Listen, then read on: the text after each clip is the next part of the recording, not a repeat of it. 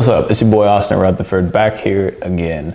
We're in the middle of a pandemic when I'm shooting this thing, and there's a lot of people that are getting insanely wealthy right now because they're spotting trends. There's some markets going through the roof right now and some markets crashing right now. So they're positioning themselves so when a market goes up, they can capitalize on it. They're positioning themselves so when a market goes down, they can capitalize on it. No matter how the market goes, there's always ways to make money. And like I said, now multiple, multiple millionaires and billionaires are being made. But these same people can also lose very, very big. Because what happens is when you're trying to get ahead, when you're trying to take a big leap ahead, you have to put yourself in a somewhat risky scenario.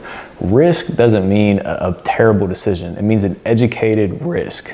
You know, you look at the statistics, you look at the data, and you set yourself up in a position where you think the market's gonna go. If the market doesn't go that way, you can lose big time as well. In this video, I'm gonna show you how I went out on a limb that a lot of people may have not done and I cashed in big time because of it. Pushing almost a million dollars, probably about $800,000 in total profit off of this. But before we get started, if you could scroll to the bottom, hit that like button on YouTube. YouTube loves the algorithm when people hit that like button. Be greatly, greatly appreciated. While you're down there, make sure you check that subscribe and drop a comment in the comment section below. TGIM.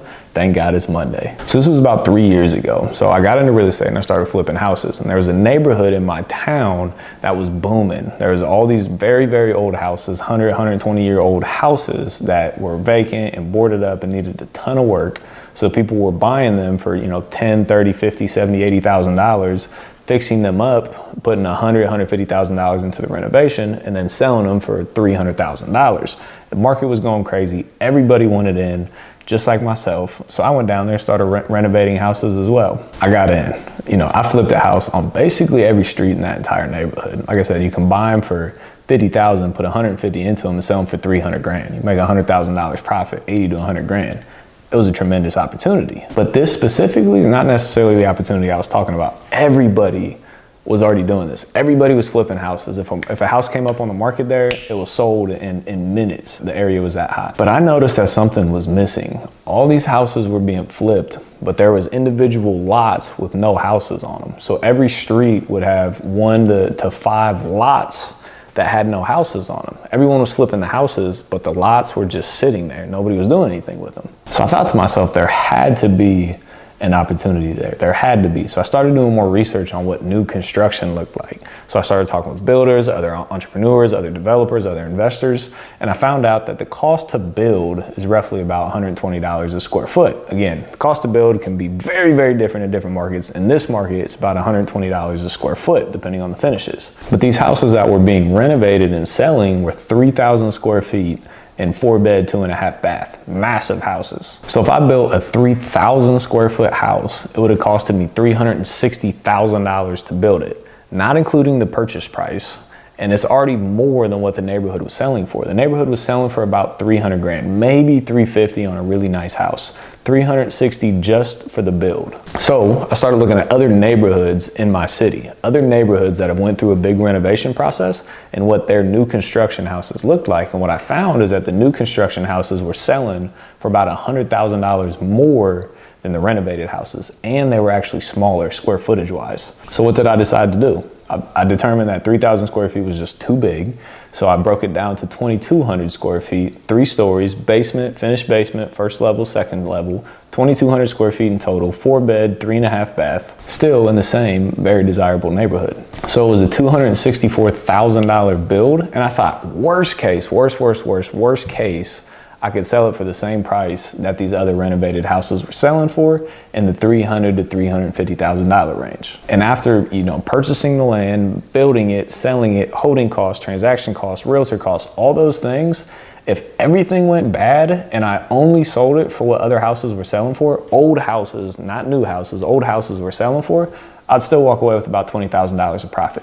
Big risk, 20 grand for nine months of work, not a good idea but I saw the upside. Because if these things sell for $100,000 more than what the rest of the neighborhood was selling for, I'd be selling these for 400, 500 a pop, making $100, $150,000 net profit per lot. So worst case, still make a little bit of money. Best case, I start popping off six figures a deal. So what I could have done is I could have bought one lot and bought it and, and built it and sold it. And eight months into it, when I sold it and made some money, then I could have gone and bought more lots. But when people see that something works, usually competition comes in. But I'm the type that wants all or nothing. I drove literally every street in the entire neighborhood, wrote down every address of a vacant lot, and started cold calling all the sellers. Every seller, I was picking up the phone and calling. So I was picking up these lots for 10,000 to $30,000 because nobody was buying them. So I ended up buying 15 lots in total before I ever built a house. And then I ended up getting a great deal. It was three lots for 20 grand in total. So about $7,000 a house.